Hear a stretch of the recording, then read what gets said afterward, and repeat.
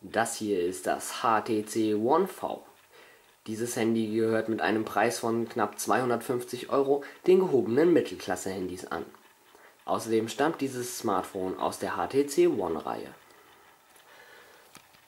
Doch widmen wir uns als erstes einmal der Verpackung. Unter dem Deckel verbirgt sich direkt das Handy, das HTC One V. Unter dieser kleinen Abdeckung und unter jeder Menge Sicherheitshinweisen und Informationen rund um das Handy verbirgt sich dann noch das Handbuch in Form einer kleinen CD, dann noch die Kopfhörer, von denen ich persönlich ziemlich beeindruckt bin, außerdem noch das Anschlusskabel für den Computer mit passenden Adapter auch für die Steckdose zum Aufladen des Handys. Aber jetzt kommen wir erstmal zum interessanten Teil des Videos, nämlich dem Handy an sich. Auf der Oberseite spendiert HTC eine großzügige Hörermuschel mit einem 3,7 Zoll großen Touchscreen. Auf der Unterseite finden wir noch drei kleine Soft-Touch-Tasten für Zurück, den Home-Button und den Taskmanager. Auf der Unterseite auf dem übrigens sehr nach oben gebogenen Hals gibt es dann noch ein kleines Mikrofon zum Telefonieren auf der Rückseite finden wir neben einem Lautsprecher noch das Beats Audio sowie das HTC-Logo. Außerdem noch die 5-Megapixel-Kamera mit kleinem LED-Blitz.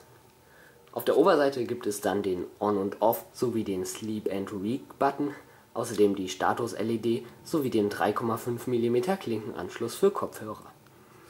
An der Seite finden wir dann noch die Lautstärkewippe. Und hier noch ein paar kleine Informationen zur Software das Menü ist sehr gut gestaltet und das Handy läuft auf der aktuellen Android-Version 4.0 Ice Cream Sandwich. Damit alles so flüssig läuft, ist in dem Gerät ein 1 GHz Prozessor verbaut, der das Ganze auf Trab hält.